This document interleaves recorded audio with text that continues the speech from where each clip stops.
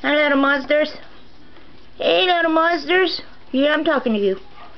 You're just little monsters. We got some over here that thinks it's lunchtime.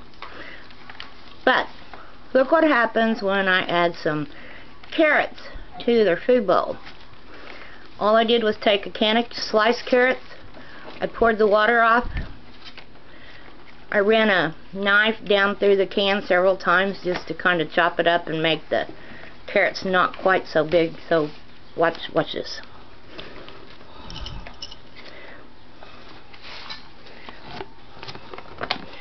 Move over.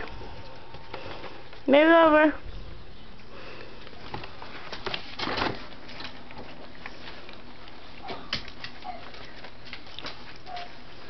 Oh.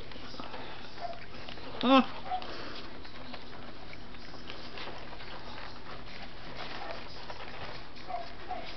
He's like, hey, I smell something. Where is it? Oh, yeah, there it is.